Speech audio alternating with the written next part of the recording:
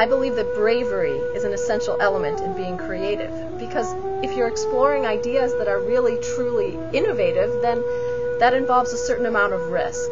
And I've never been afraid to take some of those risks and do things that might be experimental. And sometimes it works and sometimes it doesn't, but it's part of the journey and I'm always wanting to push the envelope. I'm creative because I have to be, because I can't control it. I'm creative when I'm in the car, when I'm on the treadmill. I'm creative when I'm sleeping, or actually when I'm trying to sleep, but instead I'm tossing and turning because I can't get the ideas out of my head. I'm creative when I'm practicing scales or long tones, and I'm with my instrument, and I find myself in that sort of zen place where I can access ideas in a very subconscious way.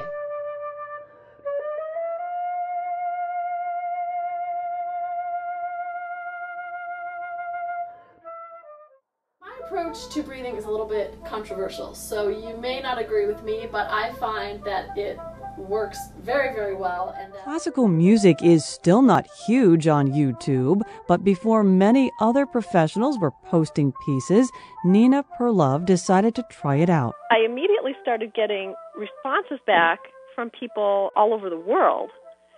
And I immediately realized the power of this tool, YouTube, to reach people that normally you would never have that kind of contact with. I have over 6 million online views, and what that tells me is that there are people out there who love classical music. The conductor Benjamin Zander, in a lecture I heard him give, once posed a very interesting question. He said, How would you hold yourself? How would you live? How would you feel if you knew that the whole world loved classical music? They just didn't know it yet. And when I heard him say that, I had to laugh because it perfectly summed up everything that I already believed about my real flute project. I really believe that the whole world loves the flute. They just don't know it yet. And I want to be that person who brings them to that self discovery that they really do love the flute and love classical music. Now, you probably think that I'm delusional for thinking that, but it's the reality that I choose to believe, and it's my reality. And it's actually becoming something of a self fulfilling prophecy. To me, creativity is also about being able to execute on the ideas and turn them into a reality because if the ideas just stay locked in my head forever and I never am able to share them with the world, then they never take on that voice and they never are able to be spun out and to see where they can go and what impact they can have. I like to combine elements and genres to blur the lines between entertainment and learning, between pop culture and high art. I also do something which is really radical. I combine classical music with humor. everybody's talking about the beatboxing flutist Greg Pattillo because he has 20 million views on YouTube and he's been on iCarly. But the truth is, I'm a classically trained flutist and I can beatbox. It's not that hard. So today, I thought I would beatbox for you.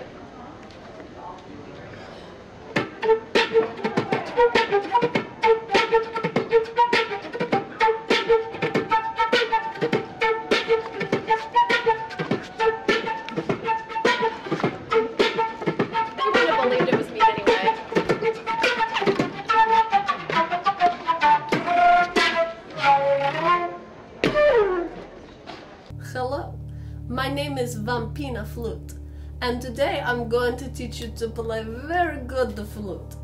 As you can see, I am a vampire. But the problem is that uh, everybody likes to have a vampire with a very exotic accent, but I- I'm really from Michigan and I don't really know how to do accents very well, but if I just speak in my regular voice, nobody believes that I'm a real vampire. First thing to play the flute when you're vampire. If you've been buried in the ground for a very long time, like 5,000 years, I really suggest you get a very good cleaning on your flute because you might find some things inside uh, the worms inside the flute it do not sound good, but they do taste good. Oh. And what I like to do to practice the vibrato to play your vibrato from the throat. It's a, it's a nice artery there, yeah, yeah, to pulse, pulse the blood through. And then I say a very good, strong ha, ha, ha to make a pretty vibrato. Just like this, I say ha, ha, ha. It's very cool that my online work has been featured in major media outlets such as the Wall Street Journal and the Washington Post, and a brief appearance on the Oprah Winfrey Show and an Inside Arts magazine. But what I'm really, really proud of, and what keeps me doing this day after day, is the response that I get from people who tell me that it has actually made some difference in their lives to me, if my creativity inspires someone else's creativity, then that is where it becomes really exciting.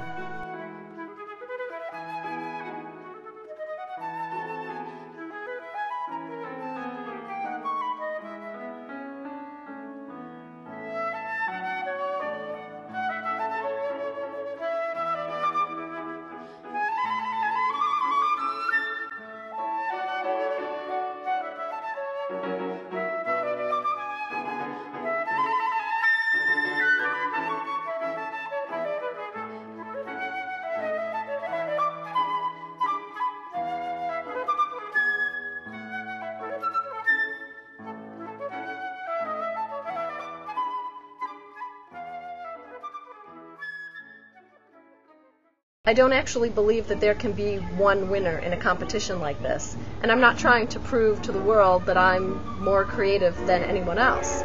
So, why am I participating? I would love to share what I've learned and what I've discovered and what I hope to continue to discover on my own creative journey with members of the advertising industry and to enter into discussions and brainstorming and to start new connections for our own creative projects together.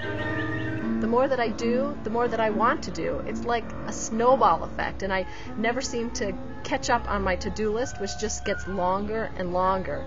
I have so many projects. For me, the hard part is deciding which to execute first.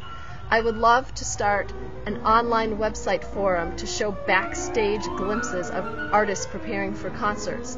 I would love to bring all my talents to members of other arts organizations and professionals. I would love to work with members of the non arts world.